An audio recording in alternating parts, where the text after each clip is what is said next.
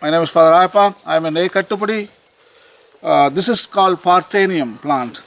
And uh, in India, uh, government wants to eradicate this plant.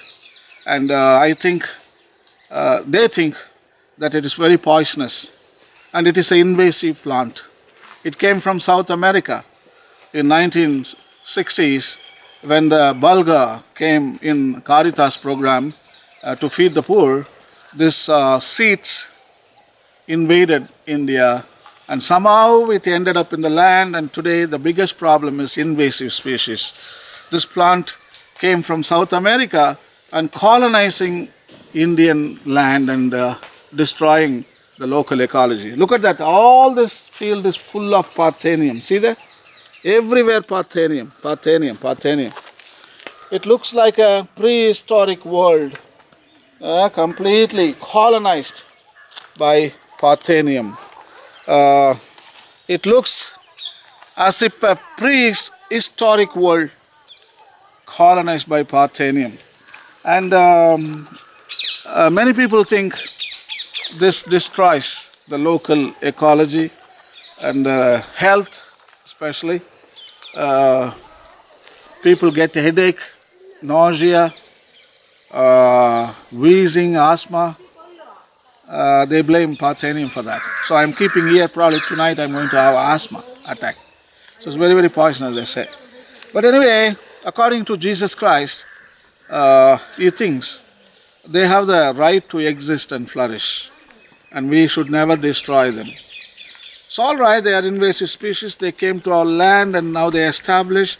Before they could establish a relationship with local ecology, you want to eradicate it.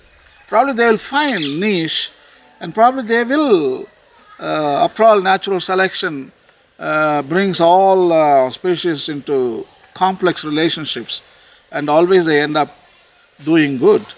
So we should believe that. Jesus thinks so. And in one of the parables, Jesus says, uh, a man went to sow wheat and he saw the good seed, but they were surprised and shocked to see even the weeds were growing with the wheat. Then the servant told to master, Master, we sowed the good seed. How come these weeds are growing? And uh, can we pull out all the weeds and destroy them? Jesus says in the parable, No, no, no, no, no, no. Don't destroy them. Let them grow side by side. And probably Jesus says they have a right to live and flourish on this earth. Only one thing we don't understand, we don't have knowledge what they can do to ecology. Only we see they are doing damage to our human um, uh, resources, but maybe they are doing something good for other creatures. If they are not good for humans, it doesn't mean that they are bad plant, because they'll they'll be doing good for frogs or mosquitoes or for some kind of animals, and everything in creation they do something good. So we need to understand that. So let us allow uh, plants flourish. After all, they have right to existence, right to flourish, and right to fulfill their role for the common good of the whole world. God bless. Thank you.